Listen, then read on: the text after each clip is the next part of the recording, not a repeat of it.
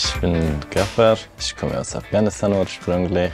Eine gefährliche Ecke der Welt. Probleme, die man sich hier sehr wenig vorstellen kann. Und das hat dazu gebracht, dass ich äh, die ganze Familie verloren habe und auch diejenigen, die geblieben waren, in verschiedenen Ländern weggefluchtet. Seit etwa sieben Jahren bin ich hier in der Schweiz. Eigentlich habe ich es nicht geplant, in der Schweiz zu kommen. Mir war nur wichtig, okay, irgendwo ankommen, äh, dass ich mir vorstellen kann, ich kann hier leben. Ich denke, ich bin ein Mensch, der jeden Tag mit sich selbst konfrontiert ist und jeden Tag lernt etwas und jeden Tag entwickelt etwas und jeden Tag verbessert sich, verbessert und verbessert. Oft im Leben habe ich keine Wahl gehabt, äh, mich vor Motivation oder für Komfort entscheiden, sondern ich musste das. Im Laufe dieser sechs, sieben Jahren, acht Jahren jetzt fast in der Schweiz so viele gute Menschen, die mir sehr weit geholfen haben. Roland, mein Stiefvater, was ich sage zu ihm, der ist am Anfang mein Lehrer, nachher mein Mentor und jetzt so weit wie meine eigene Familie geworden bin. Was er alles, was er alles für mich getan hat.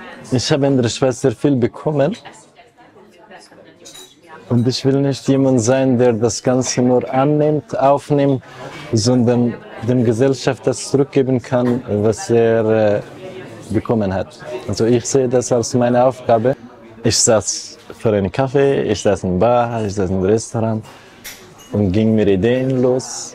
Hey, da konnte man doch das anderes machen. Wie wäre es, wenn die Personal hier da eine andere Laune hätten? Aber irgendwann mal wurde das fast so Obsession geworden, das so weit, dass ich nicht ausschalten konnte, diese Gedanken aus dem Kopf vom Gastro. Und da war mir klar, okay, ich muss in diesen Bereich gehen.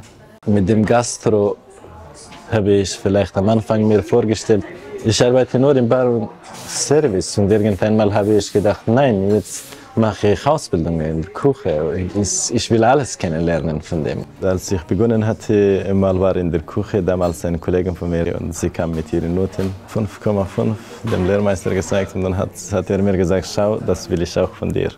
Und ich habe gedacht, ich will mit 6 kommen.